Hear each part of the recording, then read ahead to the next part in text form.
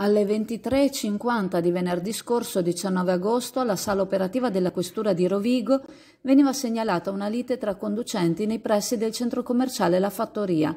I due cittadini italiani lungo la strada proveniente da Bosaro hanno cominciato a superarsi reciprocamente fino a giungere all'altezza del centro commerciale dove una volta fermatisi e dopo aver cominciato un diverbio sono scesi dalle rispettive vetture venendo alle mani. Sono cominciati a volare pugni, uno di questi ha colpito l'avversario in volto volto provocando una lesione all'occhio destro che lo ha costretto a recarsi al locale pronto soccorso dove è stato curato e dove gli è stata diagnosticata una prognosi di 12 giorni. L'altro conducente, l'aggressore, scappava invece verso il centro cittadino dove è stato avvistato da una volante.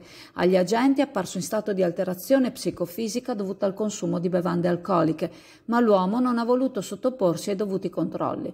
A causa del rifiuto l'uomo si è visto ritirare la patente, la quale gli è stata sospesa. Il veicolo è stato sottoposto a sequestro amministrativo. Per lui è scattata quindi la denuncia in stato di libertà per guida senza partente e per lesioni aggravate.